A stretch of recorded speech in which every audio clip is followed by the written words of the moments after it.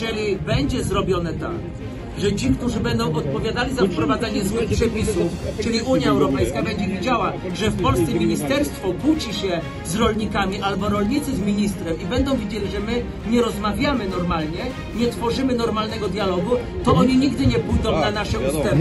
Nigdy. Albo będziemy w tej wojnie razem, bo to jest wojna o produkcję żywności w Polsce, żebyście zdali sobie sprawę. To jest wojna o to, kto będzie w swoich rękach dzierżył produkcję żywności. Kto będzie miał żywność, ten będzie rządził Polską. Jeżeli ta żywność nie będzie w naszych rękach, to my będziemy tutaj dziadami.